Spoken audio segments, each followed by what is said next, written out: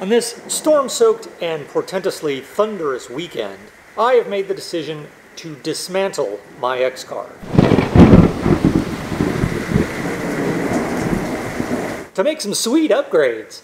When I first assembled my robot a year and a half ago, I made this inexpensive MDF T-slot wasteboard. I'll link to that video down in the description, and it has served me very well, despite what a certain segment of YouTube insisted down in the comments.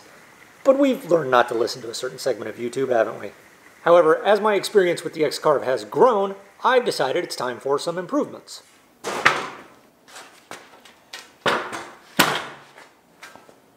This gorgeous slab of aluminum I got from a place called OSH Cut. They cut this exactly to my specifications using lasers. No kidding. Pew pew. I'm going to add a link to OSH Cut down in the video description. They've got a website anybody can order through. They even cut all these little pilot holes for me exactly where I specified, ready for me to resize and tap as needed.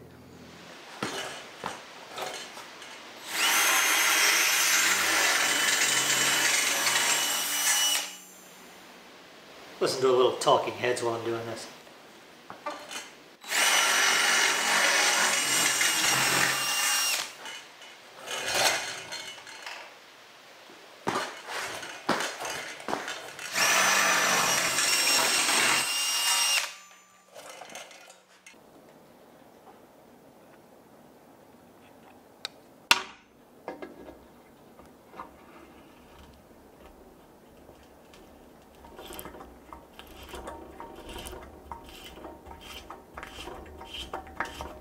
Wow, that is the easiest tap I have ever cut. It's amazing what a high quality tap can do. Plus this stuff, I got this stuff for a job a couple of weeks ago, makes all the difference.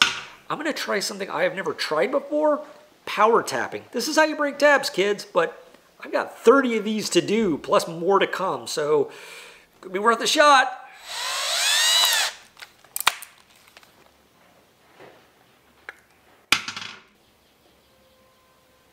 Here we go.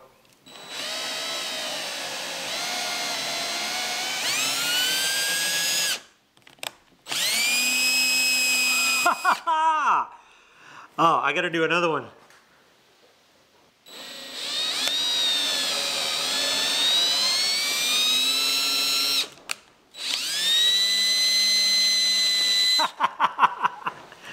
ah, this has changed my life.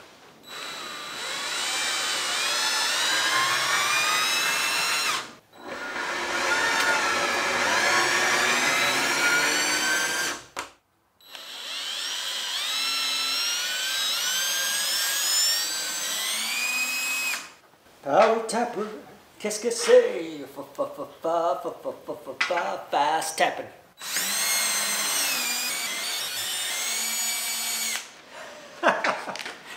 I have never had fun before tapping holes.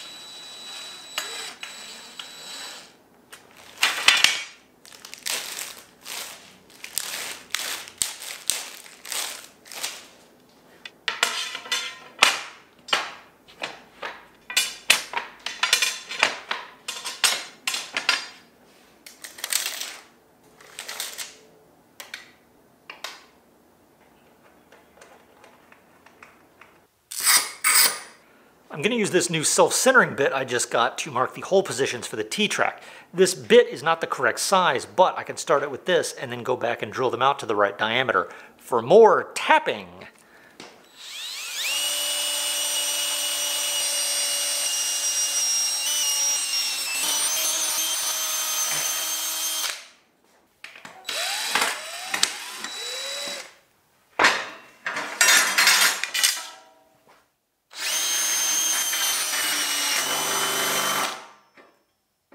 Ah!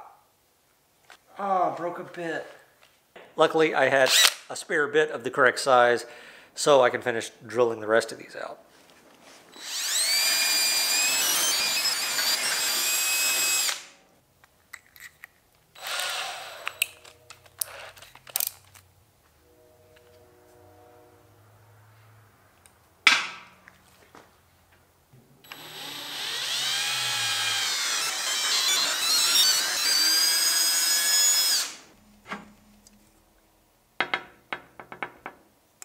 Last one.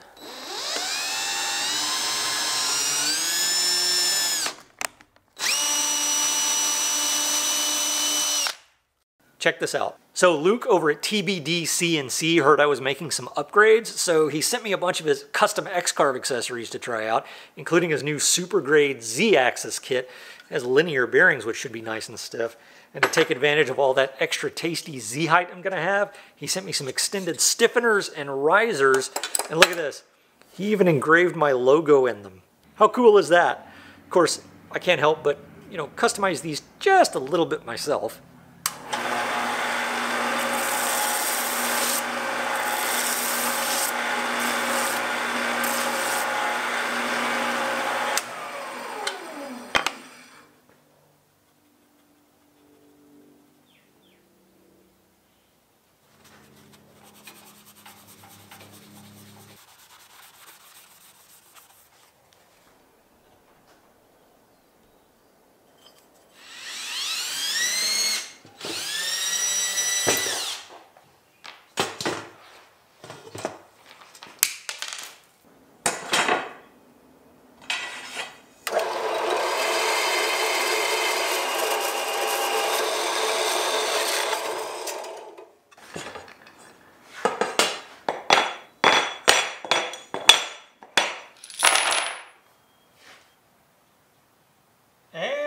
After show.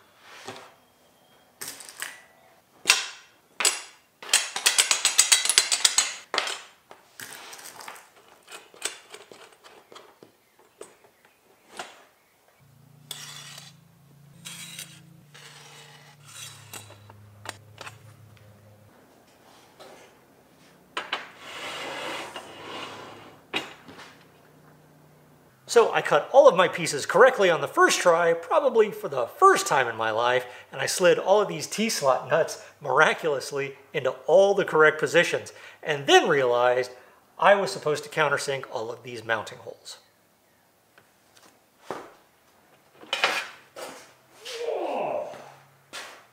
Now, normally I'd pick this thing back up again and then lay it down into the shot for continuity, but screw that. This thing's heavy. All right, this is going to take a while, so I'm just going to show you a close-up.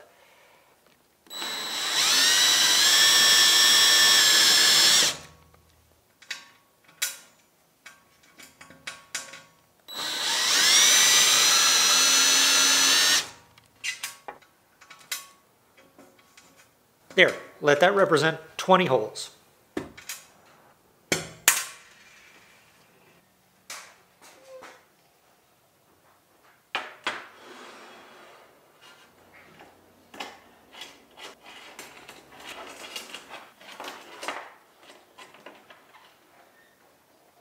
I've got one T-slot nut that has slid out of position. It's over here somewhere, but this top plate and the extrusion, all aluminum. That nut is steel, so all I gotta do is take this magnet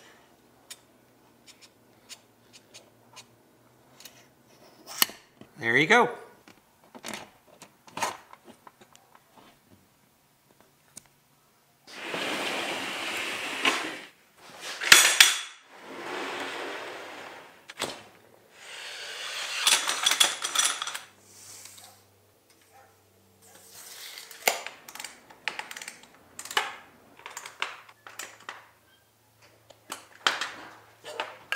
You may be asking why didn't I get black extrusion to match the rest of it? Well, the price difference between the silver and the black was significant enough for me to disregard my obsessive tendencies, but this one rail in the middle being a different color than the rest of it, even though it's going to be underneath and I'll never see it, I'll know it's there and it will haunt me forever.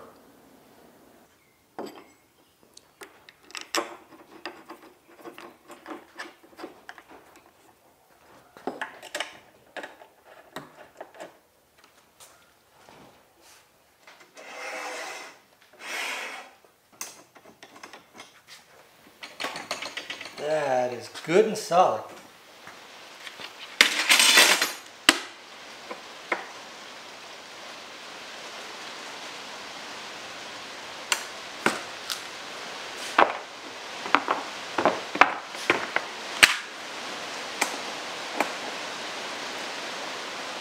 How appropriate that this project is being bookended by rain. Clearly I didn't do this all in one day.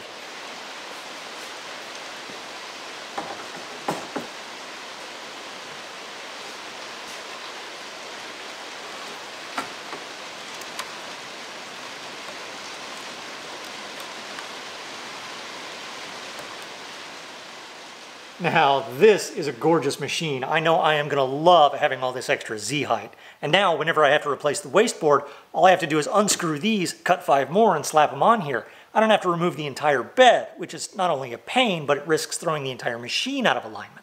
If you would like to see updates and extra footage, which should soon include the ridiculous way I took the warp out of this aluminum plate, just follow that Patreon link down in the video description. You'll not only help keep this channel on the tubes, but you'll get access to past and future behind the scenes content, including an extended version of this build.